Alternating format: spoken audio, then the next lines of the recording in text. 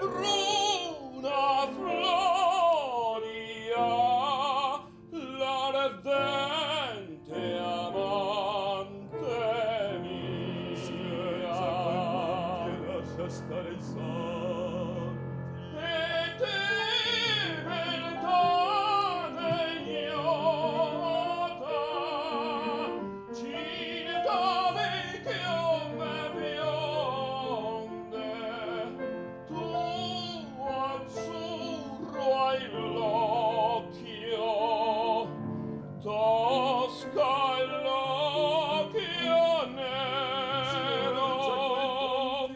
lascia stare i santi l'arte nel suo mistero le diverse bellezze in si